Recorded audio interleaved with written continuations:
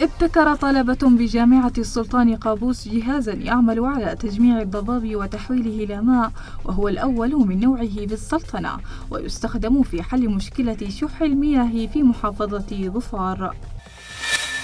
تختتم الحملة التوعوية الوطنية كنوز عمان محطتها الأخيرة بجامعة ظفار اليوم والتي ينظمها مجلس البحث العلمي بهدف زيادة الوعي بأهمية التنوع الإحيائي والبيئي بالسلطنة حيث بلغ عدد زواره في مختلف المحطات أكثر من 11 ألف زائر.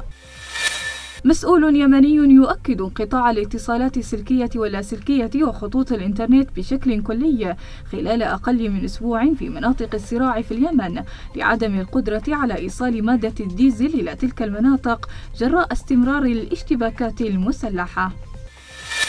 وجه الصحفي الألماني يورغن تودنهوفر خطابا مفتوحا لزعيم تنظيم داعش أبي بكر البغدادي ومقاتليه.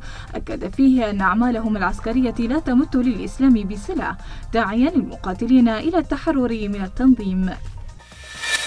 يبدأ باريس سان جيرمان مشوار الأمتار الأخيرة نحو الاحتفاظ باللقب وذلك عندما يحل ضيفا على نانت بعد غد السبت في المرحلة الخامسة والثلاثين من الدوري الفرنسي لكرة القدم.